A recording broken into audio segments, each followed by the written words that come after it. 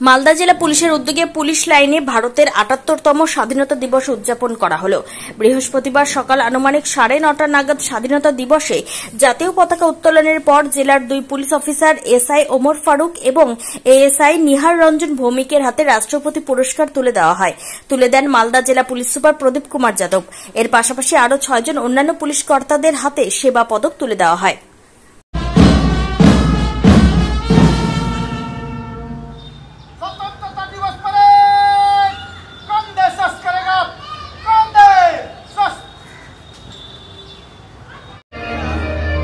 कि independence day के दिन uh, हमारे यहाँ पे अवार्ड में सेवा पदक और पुलिस मेडल दिया गया और आपके थ्रू हम लोग सब मालदा वासियों को बाकी सभी देशवासियों को uh, स्वाधीनता दिवस की शुभकामनाएँ देना चाहिए thank you sir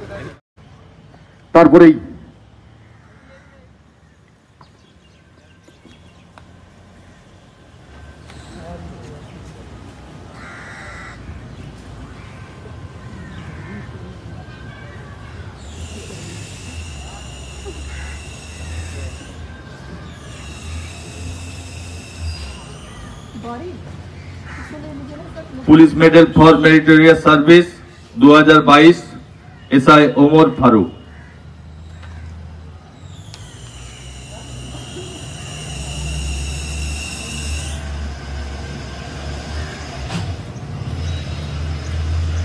এরপর police medal for meritorious service ASI Nihar Ranjan Bhowmik দু হাজার বাইশ।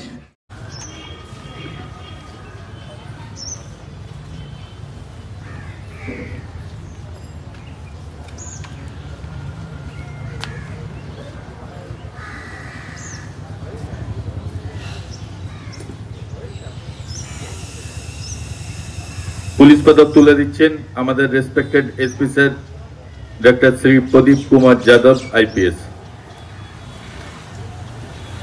এরপরে সেবা পদক inspector Dipendra Muktan